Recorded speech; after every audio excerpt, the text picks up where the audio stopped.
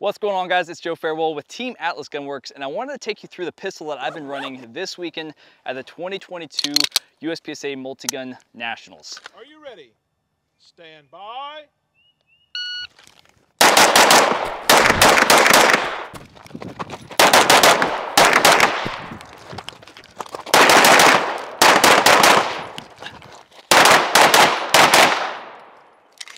So my pistol of choice this year is the Atlas Gunworks Erebus.